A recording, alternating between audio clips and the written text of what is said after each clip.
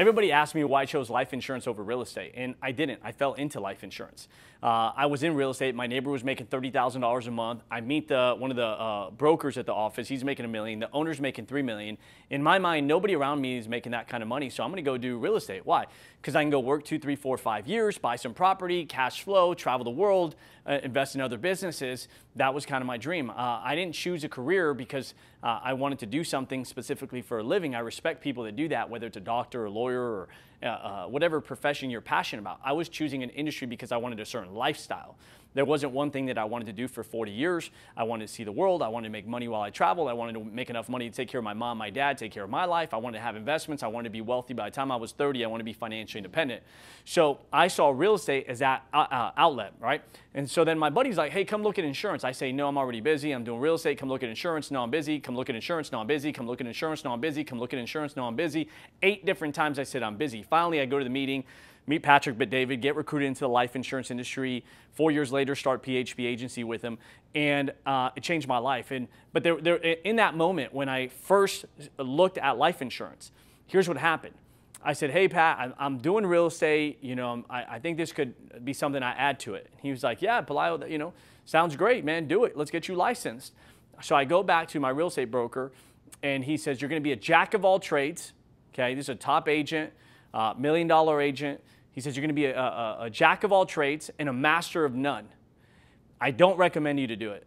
So I said, Man, maybe I shouldn't do it. So then I go back to Pat and I said, Hey, uh, this is what he said. He's a millionaire. What do you think? And he says, Do you want his life? I said, Absolutely, I want to make a million dollars a year. He says, That's not what I asked you. Do you want his quality of life, what his life looks like, his schedule every single week?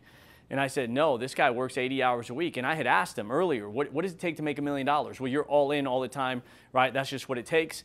Uh, Saturdays, Sundays, open houses, evenings, you're showing people houses after work. You got to be that agent that's available when they get off. You got to be the agent available on the weekends. And I'm like, when do you do stuff with your family? Whenever your schedule allows, you do it with family. But if you want to make a million dollars, you got to, you know, and I'm like, man, I don't want this guy's life. So then I asked him a question. I said, hey, you know, why don't you travel more? Why don't you, like, you're a millionaire. Like, why don't you go to Europe or Italy or anywhere, uh, Dubai, or do you travel? He says, I don't, I don't travel as much uh, because if I'm gone, I'm going to lose a deal. My client's going to call me. They're going to want to see me. Something's going to go wrong. I got to be available. So, you know, I don't travel as much. And I said, man, I don't want this person's life. So to answer your question, Pat, no, I don't want, I don't want that life.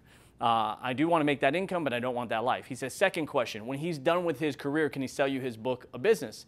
I said, what's a book of business? He says, the list of all his clients. I said, sure. He says, would you literally pay somebody for a list of people they sold homes to two, three, four, five, 10, 15, 20 years ago that doesn't make you any income today?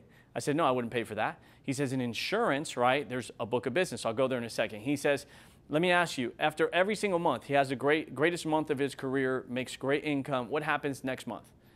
He's back to zero. So there's not a consistency on the income side because there's not a residual. I said, okay, so I'll go to that in a second as well. I said, no, there's no residual. You make money one time.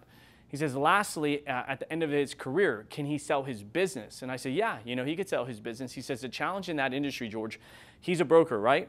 I said, yes. He says, where, where was he a broker before? What, what was he doing before? I said, he was an agent at a different firm. How long was he there? 20 years.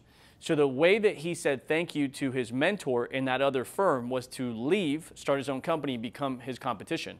He says every broker that is a real estate broker at one point was probably somebody's agent, top producer that left to start their own brokerage. Because in real estate, the, the commission, the compensation, which today is even being challenged through lawsuits and all that stuff going on and being questioned, um, is 100%. He says it's not more than 100% because the buyer uh, or the seller is paying that commission. He says in insurance, the insurance agency, the insurance company is paying that commission and they can pay over 100% because they understand the volume of what you're going to do and because there's a recurring premium that lasts more than year one, right? Typically, people keep policies for multiple years 5, 10, 15, 20, 30 years, right? They can afford to pay you that as a broker who has other brokers. I said, man, that makes a lot of sense. So to recap, right, why, why, why insurance?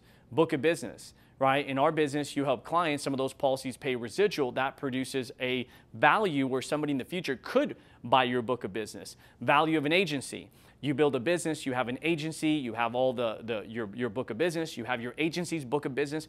All of that uh, together is an agency. You could sell your business down the road residual, right? Every single month, uh, you want to build, you want to keep adding new sales and new clients and more agents to that, but you have a base that's growing constantly and getting bigger and bigger and bigger, so you're not starting every month at zero. And then lastly, keeping the best people and helping them build their own agencies inside of that company. So for those of you guys that uh, have been in the real estate industry for a while, you know what's going on. Uh, rates are high, sales are down. Uh, it's a process, you know, they'll come back down, sales will go up. It's cyclical.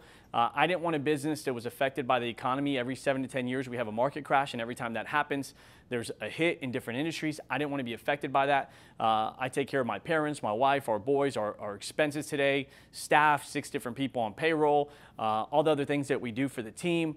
And I need to insulate my economy, my family, um, financially. So I can't have a bad month. I don't want to go from, I have a great buddy, uh, 100 grand a month to 25, 30,000 a month because of rates and he's in the mortgage industry. Uh, I, I, don't want to go through that. And he's a freaking stud. Uh, I don't want to go through that with my family. I can't financially afford to go through that and then dip into my savings. So it's super stressful. That affects marriage. That affects time. That affects time with kids. Uh, I want to, I don't mind busting it in the front end, but at one point I want to have freedom. And there's too many people that are in the sales industry that I don't see that have that freedom um, of lifestyle that didn't build a business to give them the lifestyle. Uh, instead, they own a business, but they are the business, and the business owns them. And so that's why I chose the life insurance industry over real estate. And right off the bat, I didn't stop doing real estate.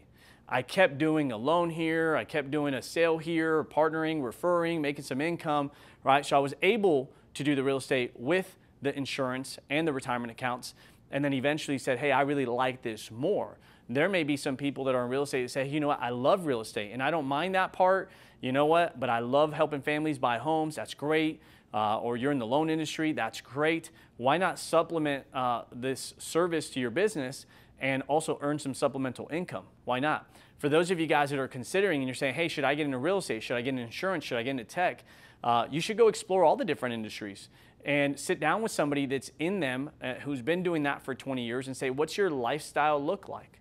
What's your income look like? What's the consistency look like? What are the ups and downs of your business? If you could do it all over again, would you?